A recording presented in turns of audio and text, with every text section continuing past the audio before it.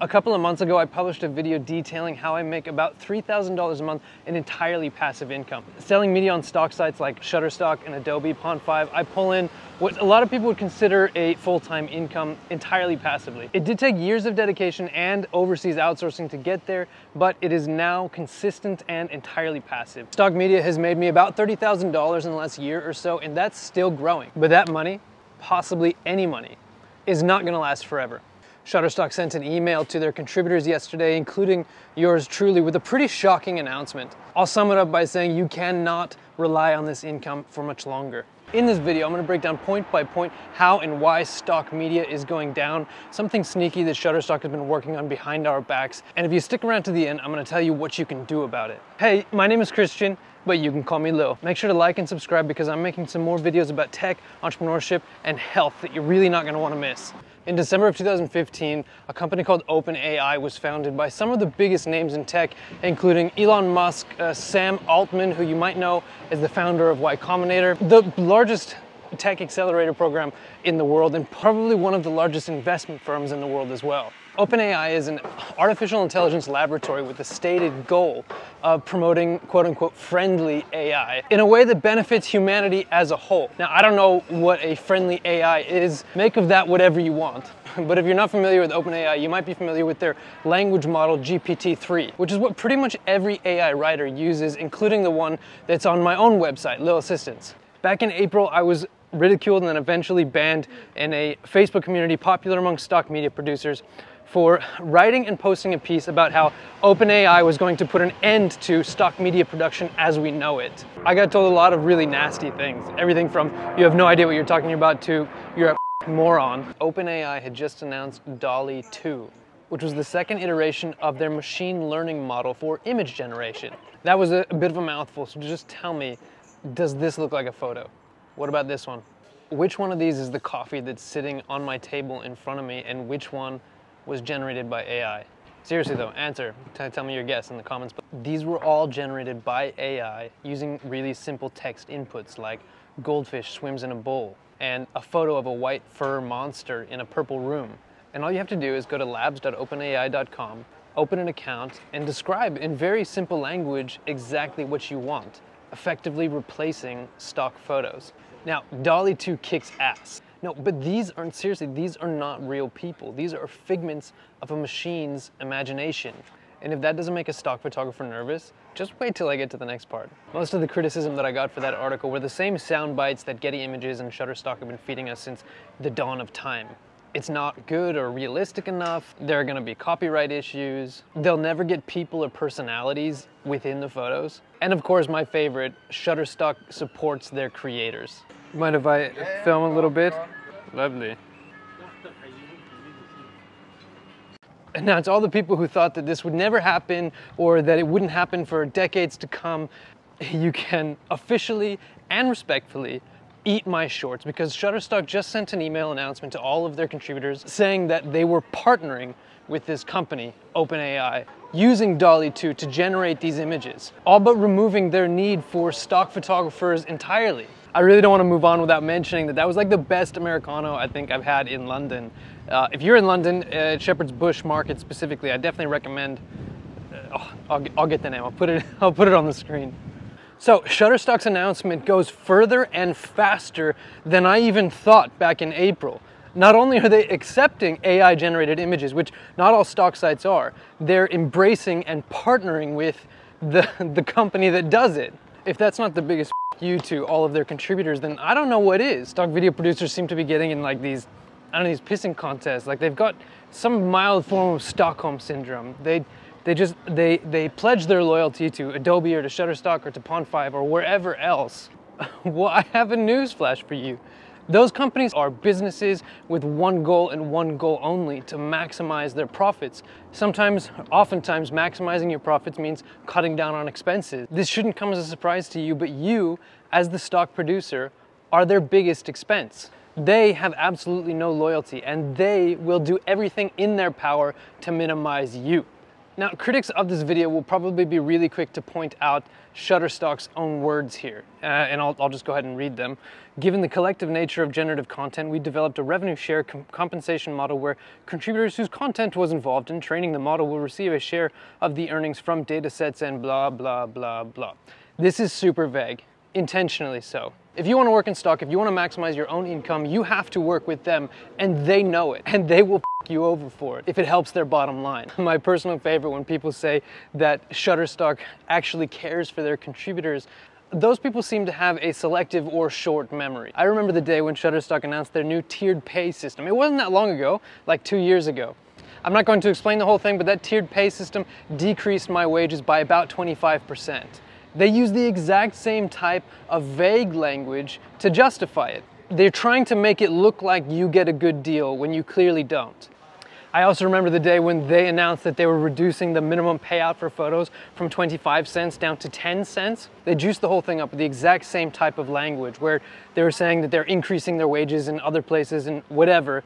But the bottom line, everybody's wages went down and they will. They will continue to go down. This is just a long line in a trajectory of downward motion for the entire stock industry. 20 years ago, a stock photographer without video could make a respectable income.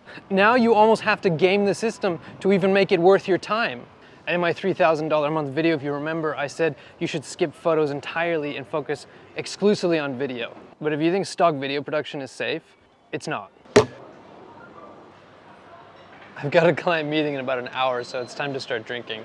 Before we move on, I just want to let you know that we have built a whole bunch of free tools into Lil Assistance. Most importantly, we have our checklist, the SEO checklist that we use for every single website that we build, as well as a SERP tracker, which allows you to track the, the where you rank, where your website ranks for certain keywords in Google, and we're working on a free AI writer, among with a bunch of other tools and resources that we hope that you can put to good use. Everything is absolutely free.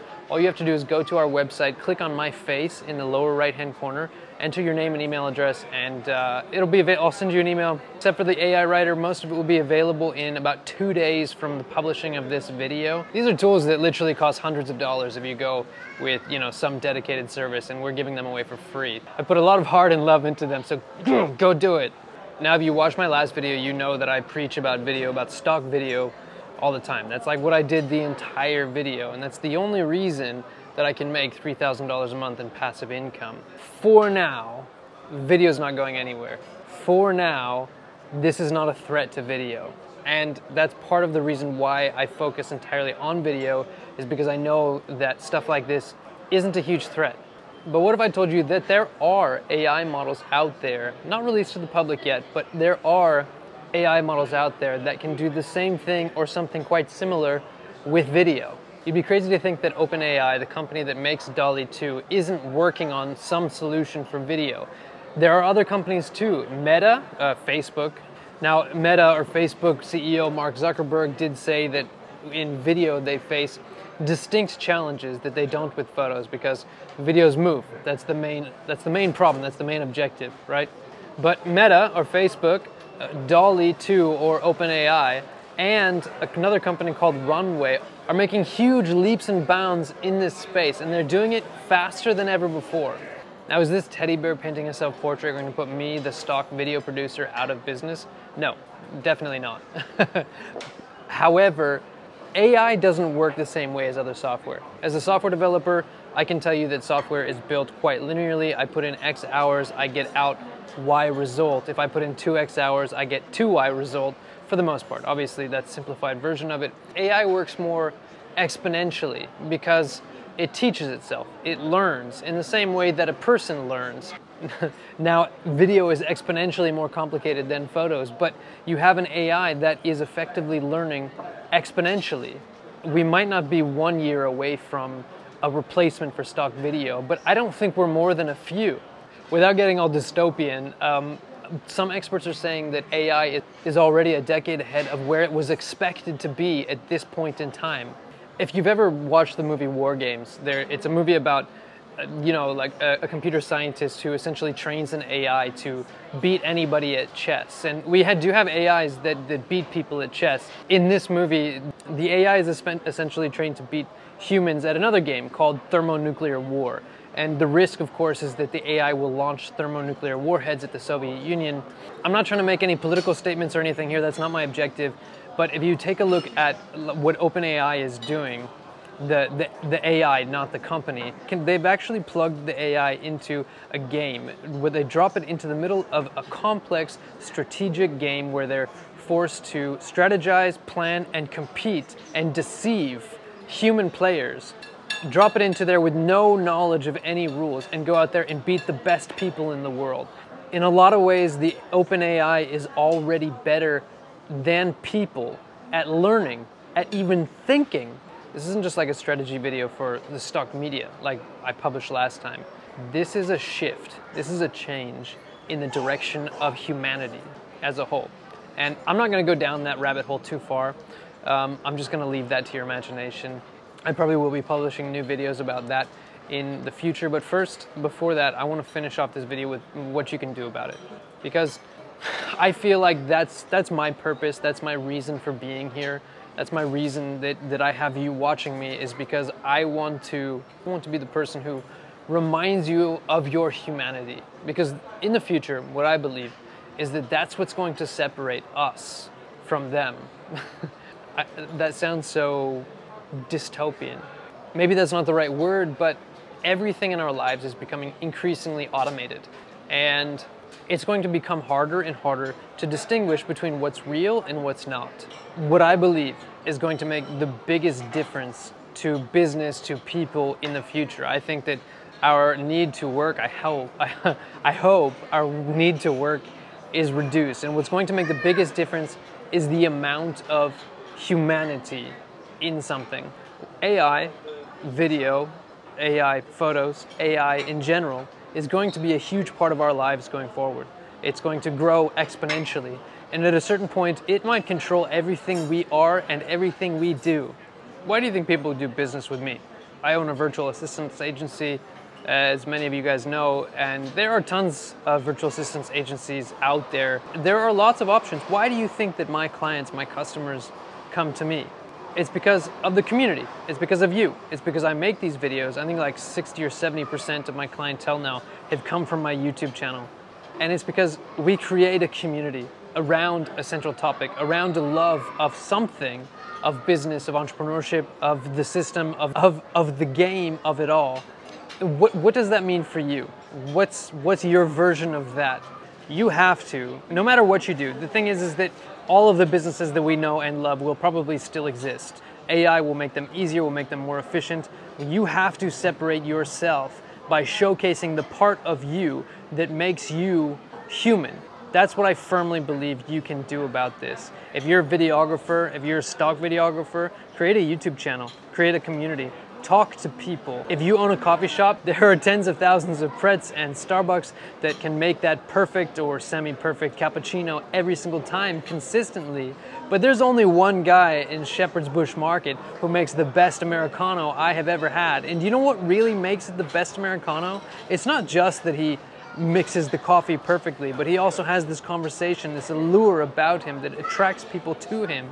He's fun, he's conversational, he's cultured in things that matter. And the people at the chairs, the people who are sitting in his coffee shop, know him personally. It's a community. That's what makes the difference. And I hope that you can do that too with whatever business you decide to go into. I believe in you, and I hope you believe in yourself. Ciao.